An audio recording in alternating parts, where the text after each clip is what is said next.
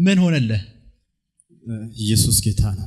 አሜን ክብር ለእግዚአብሔር ይሁን። አሜን እኔ ቻናሉን በ event ያለበት በሚከታተለው እዛ ሆኜ በቃ ከትላንትና ነው የወጣሁት። ከትላንት ወዲያ ነው የደረስኩት። ዛሬ ነው እዛ ሆኜ ይከታተል ነበረ።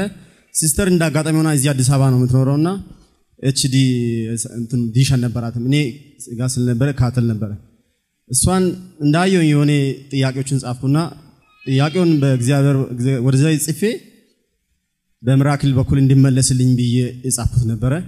ከዛ እሷን እዛም እመጣለሁ ብዬ ማነገር ግን አንቺ እዛ ሂጂ አልኳት።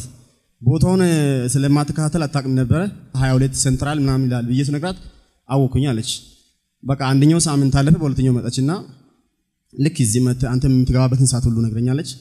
ቅዳሜ ነው በጣም ፀሐይ ስለሆነ ያለበት ቦታ ቤት ውስጥ ቁጭ ብዬ ልብስ እያጠብኩኝ ነበርና ሳላቅ እንዳጋጣሚ በቃ ያው ከጮጋራ በሽታና ክንታርቱ ነበረብኝ። እሱም ያው ከጻፏት እንትኖች ውስጥ ነበሩ። ጸልዬበት ቁጭ አድርጌያለሁ። ከዛ ዝም ብሎ እዞ በቃ ፍንት ነቀልኩኝ። በጣም ላብ በላብ አድርገኝ ቁጭ ያልኩ ቦታ ላይ አልቻልኩም። ያዝኩት በተን ስለሆነ ስልክ ፎቶ አነሳው እንጂ በጣም ብዙ ደም ከውስጤ አስታውከኝ። እዛው ወደ ራሴ ሲመለስ በጣም መላ ሰውነቴ ሁሉ ላብ በላብ ሆኗል። ከዛ እንዴት አድርጌ ፎቶ ላንሳ በተን ነው እንዴት ብዬ እንትን አልኩና ብቻ ያ ሆኑ ከሆነ በኋላ ከዚህ በፊት ምግብ በጣም ነው ውስጥ የሚመጣው ምስር፣ አቮካዶ፣ አይብ፣ እንቁላል ነገር ምናምን በቃ ብዙ ምግቦችም አልበላም። ቤት ውስጥ የሆነች ራሴ ውስጥ የምትቀበለው ነገር ነው የምበላው፣ ምግብ አልበላም። በቃ ለጸሎት ራሱ ጾም ጸሎት አልችልም።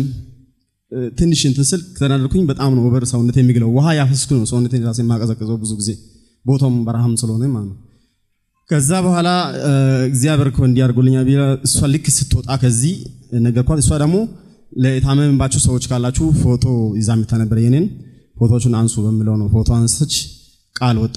ቃል እዛ ሄዶ ተፈወስኩኝ። ከነዛ ጨጓራዬም አሁን ደህና ነው። ማንኛውም ምግብ ምስር ከዛ እስከዛ አሁን ማለት ቀኑን ጽፌ የሚዣለሁ አለ ከዛ ቀን ጀምሮ እስካሁን ድረስ የተለያዩ ምግቦችን ከዚህ በፊት እምቢ የሚሉ እየሞከርኩኝ ነበር። ቡናም ምንም የሚበላው ምግቦችን ምስር ክኒቶ ራሱ ቡና ጥቼ ክኒቶ በላው ላይ እንትን ካልኩኝ በቃ አስታውቃለሁ። ወጣ ብዬ ሰው ሳያ የሰው ቤት የሚሆን ሼሚ ካዘኝ ወጥቼ አሁን ልደት ነገር ምናምን ስዘጋጅ ብዙ ጊዜ አመኝ ያው ክኒቶ ነው የሚያዘጋጀው።